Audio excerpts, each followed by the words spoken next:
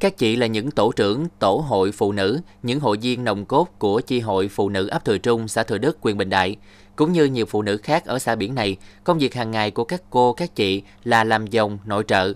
Thế nhưng từ khi dịch bệnh Covid-19 bùng phát ở địa phương, những người phụ nữ nơi đây đã tự nhận về cho mình thêm một phần việc nữa, đó là tham gia thực hiện công tác an sinh xã hội.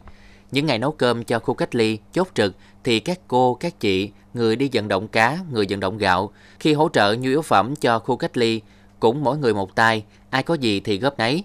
Ai không có thì bằng mối quan hệ của mình vận động để sao cho mỗi phần quà mang đến tặng các hộ gia đình khu phong tỏa đảm bảo đủ gạo, rau củ quả cùng những mặt hàng nhu yếu phẩm cần thiết. Nhưng nào đâu đã hết việc khi những hộ trồng dòng trồng ấp đến thời điểm thu hoạch nông sản mà không tiêu thụ được do trong thời gian giãn cách xã hội. Vậy là các dì các chị lại tất tả ngược xuôi làm công tác thu gom. Chính sự nhiệt tình này mà trong mấy tháng qua, Hội Phụ Nữ xã Thừa Đức đã cùng với các đoàn thể khác của địa phương vận động giúp tiêu thụ hơn 1.000 tấn nông sản của địa phương.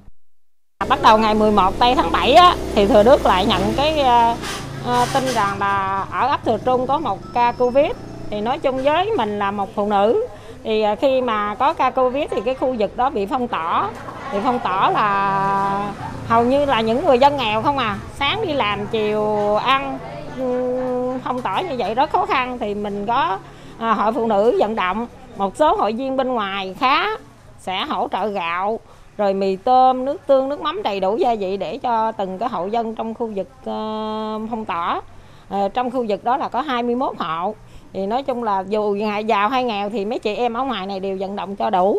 À, là tổng cộng á, là khoảng 2 tấn gạo và 300 phần quà là gồm gạo muối mì tôm đồ là riêng.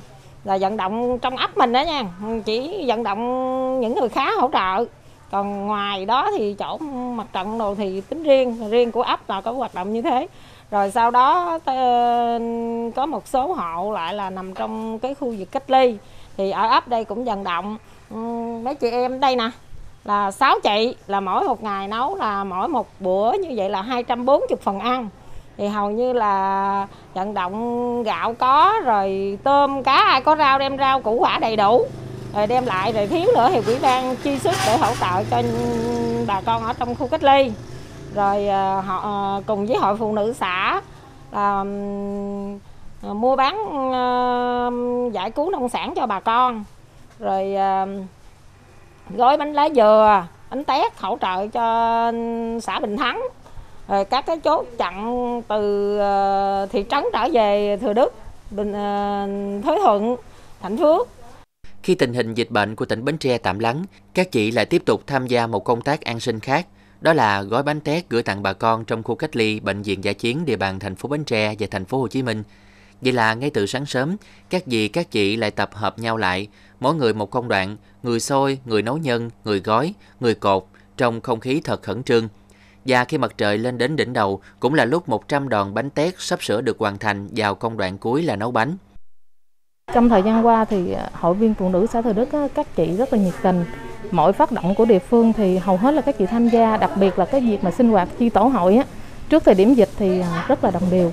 À, ở đây có một cái lợi thế đó là cái việc sinh hoạt à, à, sinh hoạt à, tổ nhân tự quản hàng tháng sau sinh hoạt tổ nhân tự quản thì chúng tôi lồng ghép hợp tổ phụ nữ nên là việc triển khai các hoạt động thì à, hầu hết các chị đều nắm vì vậy mà khi mà xã hội phụ nữ xã triển khai các hoạt động thì hầu hết hội viên đều ủng hộ để tham gia chị Phan Thị Chài Em, một thành viên tham gia gói bánh cho biết, gói bánh tét cho nhà mình ăn kỹ một, nhưng gói bánh tét để tặng cho phải làm kỹ gấp nhiều lần.